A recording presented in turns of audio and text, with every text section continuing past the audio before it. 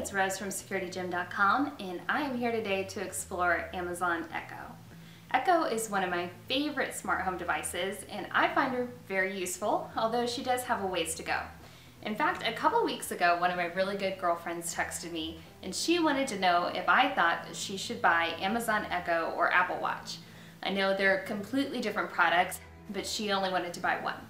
So for her, I explained that I love Echo, but I love it because I can voice control all of my smart home devices, or some of my smart home devices. She doesn't have any smart home devices, so that's not a lot of value for her. And for you, I would say the same.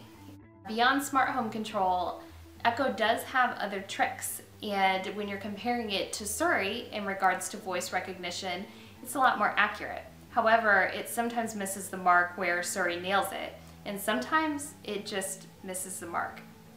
Alexa, when is the sun going to come out?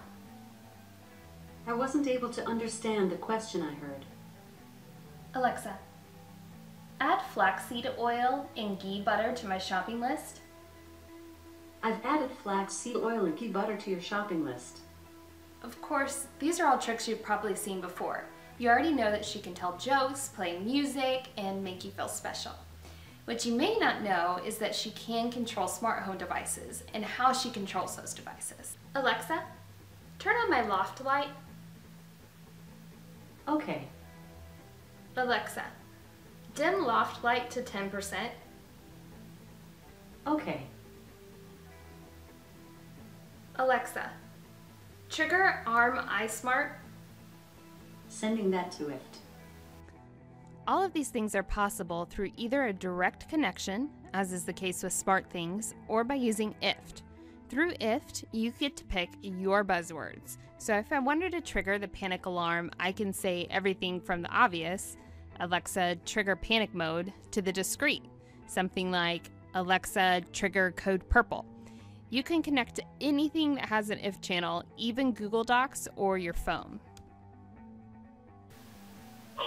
Attempted to find your phone on December 15, 2015 at 2.33 p.m. Message brought to you by it. In the end, it may not have been worth it for my friend to buy Echo, but it's well worth $180 to me. The ability to control my self-monitored home security system and some of my smart devices through IFTTT or directly through Echo is amazingly convenient. If you click on the link below, you will be able to read my full review, including my experience using Echo with IFTTT versus iSmart Alarm and also Scout. If you have any questions, please feel free to comment below and I would be happy to help you out if I can. Thank you so much for spending time with me today.